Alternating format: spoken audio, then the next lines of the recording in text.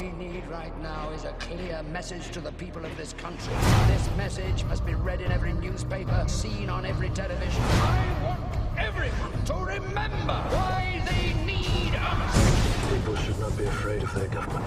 Government should be afraid of their people. I'm ready. From the creators of the Matrix trilogy comes an uncompromising vision of the future. V for Vendetta, rated R.